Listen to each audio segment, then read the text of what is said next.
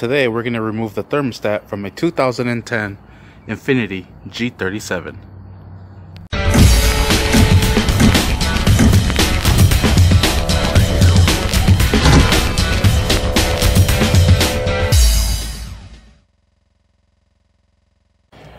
Alright, I went ahead and did the process already, like I usually do. And at the last minute, I'm like, should grab the camera. Uh, so, as you can see, I already took pretty much everything. But I just kind of mocked everything back to where it goes, just to give you a quick explanation of how you take all this off to get the thermostat off. Okay, so on here, you have two 10 millimeter screws that you take off. And you have this little hose clamp. You pull that off and you pull this one off and here comes out the overflow reservoir so set that to the side. You want to make sure your engine is cold when you do this. Uh, you have one 10 millimeter socket and a flat head to remove that clamp. Uh, you have a sensor right here the mass airflow sensor. You want to go ahead and unplug that sensor.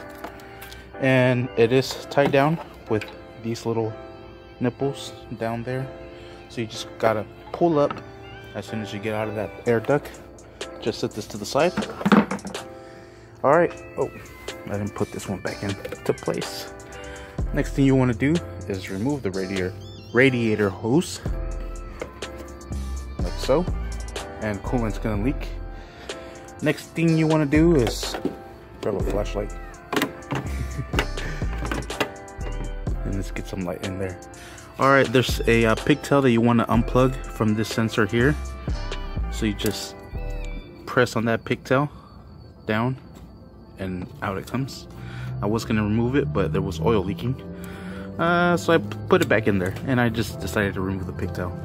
Um, the tools that you're gonna be needing, it's just a 10 millimeter socket. Uh, might need an extension. There is three screws down here.